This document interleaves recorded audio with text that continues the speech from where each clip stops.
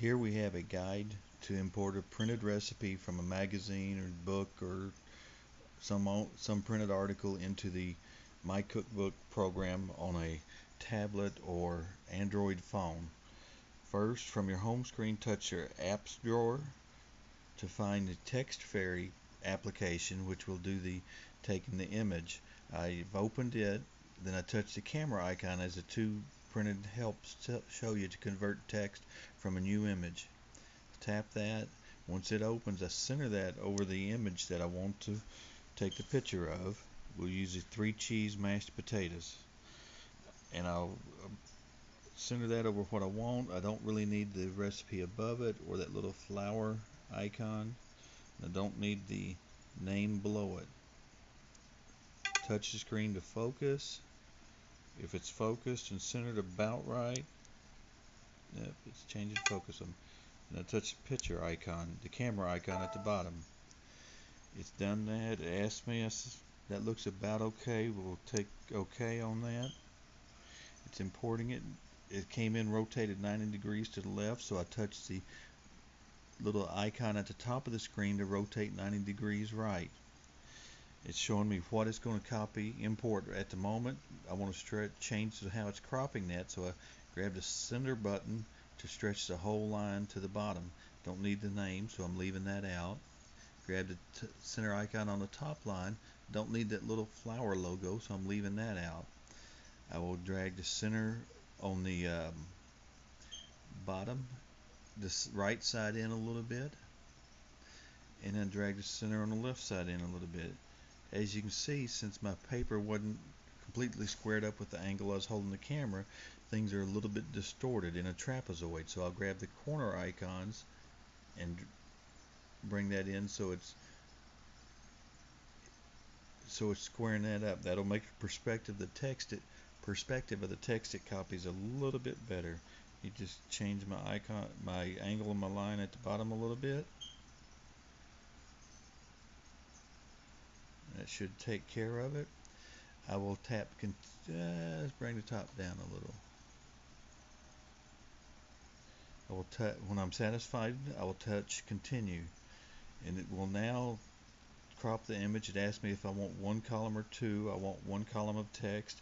I'll touch that. The robot will look at it and I'll tell it OK. It will now try to read the text from the picture I told it to take how well it does and how accurately depends on the content of it. If there's a lot of fractions, it has trouble.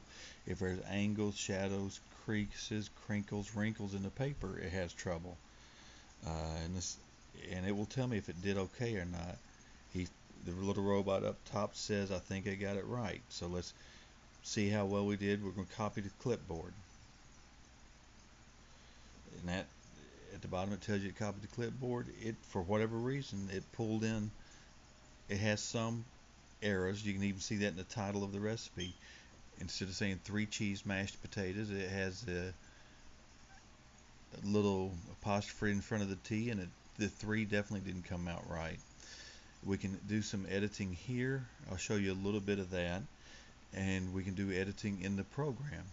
I'm just going to use the on-screen keyboard rather than turning on a Bluetooth keyboard because I've got it set so when I touch the screen there's a little dots that show up. Uh, so you have a better idea. Like the apostrophe in front of the T I will take that out by putting an icon behind it and backspacing it. To get that converted to three cheese I'll put my icon in front of the E and I'll backspace to get the incorrect letters out. And then add the extra E that's needed. Now in the ingredients I'm just going to do the spacing. So I'll put one ingredient on each line and leave the rest of this text to edit correct. Actually I'm going to start here because that's got an L and then an EUP instead of cup I'm going to hit enter to get in a new line. I'll touch long press my Q to get a 1 space and a C to 1 cup sour cream.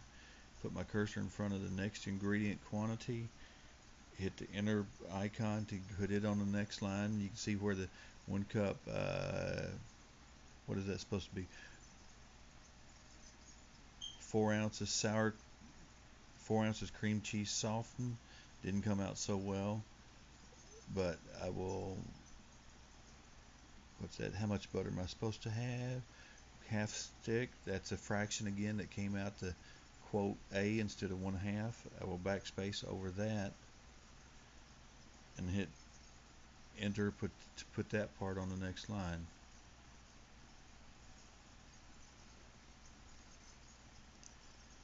And the amount of milk, the, again, has a fraction, didn't come out well. I will, like I mentioned a moment ago, I'm just going to get the ingredients separated on lines and I will do the rest of the editing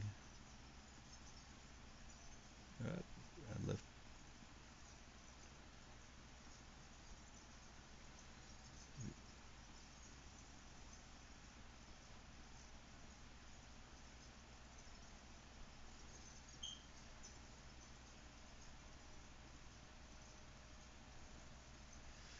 As I'm, since I'm doing this editing here, I've already saved what first copied onto the clipboard. It hasn't recognized that my changes are on the clipboard. Get the directions a little bit separate.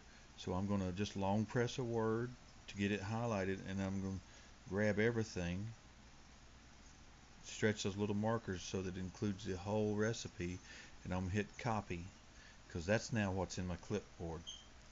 I'm going to backspace out of my keyboard, then backspace out of this program.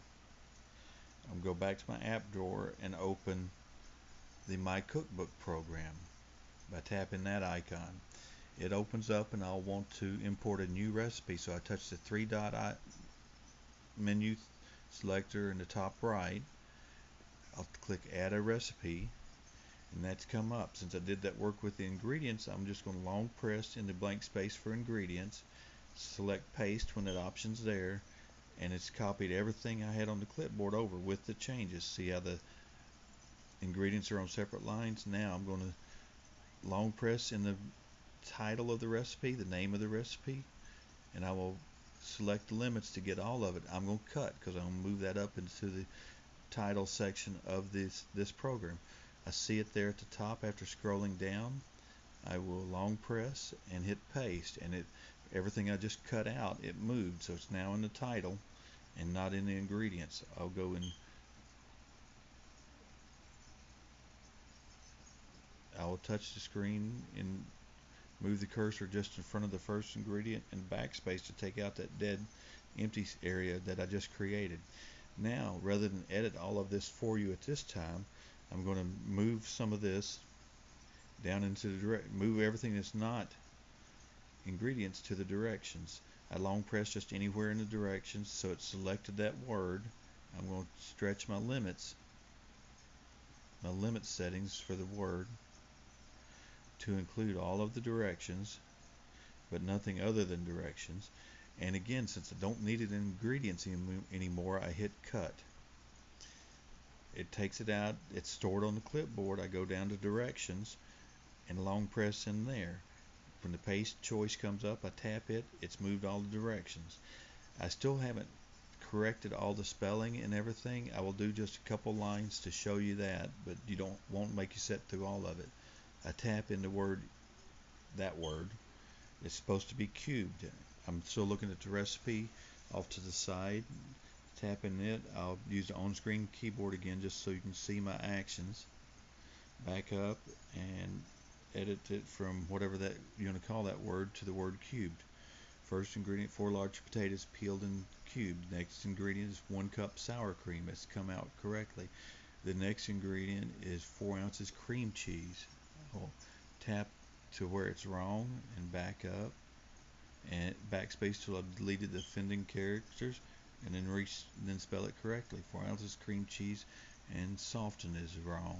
So put the cursor behind the offending character, backspace out of it, and the L instead of the F, change that, and I've got four ounce of softened cream cheese. How much butter we need is one half stick. Remember it didn't copy the scan the fractions too correctly. Long press the Q to get to one. Find my character for the fraction sign. I got one half stick butter softened. He's got an extraneous character behind the softened, probably from the previous line when I was doing the scanning. And I haven't corrected everything, but you see how that's going. I can jump down to the directions if I wanted and uh, scan that. What I took the image from was narrow columns, so there's a lot of hyphenated words. So I'll read through to get rid of the hyphens that it left behind. Oh, I took out one too many letter, add the end back. And spoon into 8 by 8 inch. Got that okay. There's another hyphenated word that I need to get the space and the dash out. Got that. And there's extra spaces here. Tap the screen to get the cursor where I want it.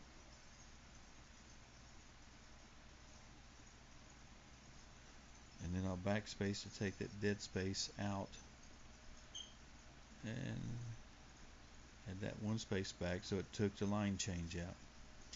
Uh, there's probably more. I haven't. Uh, there's another hyphen. There's probably more changes, but first I'm going to tap the save icon in the top right of the screen, and the rest of it I, I won't go through the editing. That's probably very obvious by now. And then you can close this program I'm backing out of, after I saved it I backed out. If you want to take a look at what I've done showing you that it saved those changes but it hasn't stuff I didn't correct it hasn't corrected. Now I'm going to back out of this program entirely and that will end the tutorial